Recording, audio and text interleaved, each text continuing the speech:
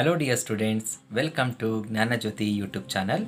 In this class, let us see another provement. So that is, show that if the diagonals of a quadrilateral bisect each other at right angles, then it is a rhombus. Dear students, let us read the figure. Here is the quadrilateral ABCD and AC and BD are the diagonals of this quadrilateral. Here we need to prove that one. If the diagonals of a quadrilateral bisect each other at right angles. What do you mean by bisect? Bisect means cut each other at right angles.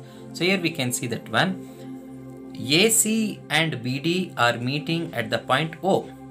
So it is says that one this point it is the right angle. This point it is the right angle. So they are cutting each other at right angle. The four angles also right angles measuring 90 degree each. Then we need to prove it as a rhombus. So let us write down in the figure.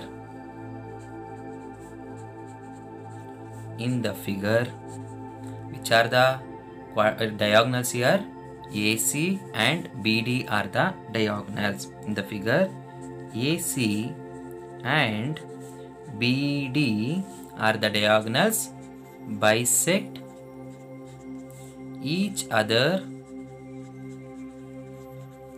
at the point O. So they are meeting at the point O. Now we can see when they meet, there we can see four triangles. One is triangle AOB, another triangle BOC, third triangle it is COD, fourth triangle it is AOD or DOA.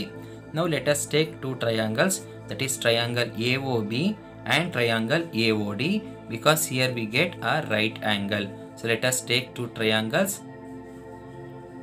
In triangle AOB and triangle AOD so triangle AOB and triangle AOD we can say that one. Here OA it is common. They here you can observe OA it is common. So let us write OA is common. OA is common side. And OB it is equal to OD you see OB and OD are equal. So this side OB and this side OD are equal because half of the diagonals. So let me write OB it is equal to OD so that is as per the data. Data says the diagonals are equal. Then angle AOB it is equal to angle AOD angle AOB it is equal to angle AOD that is each measuring 90 degree. Each measuring 90 degree. And that is also given in the data. So therefore we can understand two sides. That is OA OB it is equal to OD and one angle. So that is angle AOB and angle AOD are equal. So by using the SAS rule SAS rule means side angle side. Two sides and one angle is equal. So therefore we can say that one triangle AOB and triangle AOD are congruent. So therefore triangle AOB it is congruent to triangle AOD by using SAS rule. Therefore AB it is equal to AD by CPCT. So now we found that one AB it is equal to AD. The same way considering another two triangles. So this is triangle 1 and triangle 2 we have considered. Considering triangle 3 and triangle 4 we get. So this is triangle 3 and this is triangle 4 that is COB and COD we get. These two triangles these two sides are equal which means DC and BC will be equal. Similarly let us write similarly we can prove.